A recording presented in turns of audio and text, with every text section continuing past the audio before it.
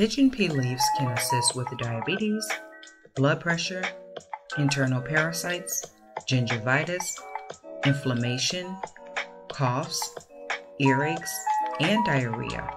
It's also an excellent source of protein.